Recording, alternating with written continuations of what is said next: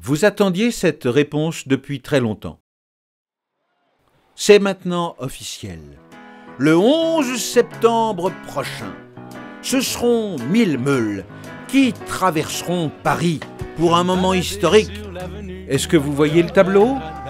Vous êtes sur cette meule bleue, cheveux au vent, avec sur les trottoirs cette foule massée qui clame votre nom, euh, qui pousse des cris de joie, des cris de bonheur. Les Champs-Élysées seront bloqués, réservés, privatisés pour le passage des meules bleues.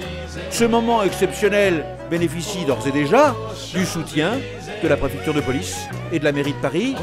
Donc, rendez-vous le 11 septembre pour ce moment d'histoire où mille meules bleues traverseront Paris. Il y a tout ce que vous voulez aux Champs-Élysées. Aux Champs-Élysées. Aux Champs-Élysées.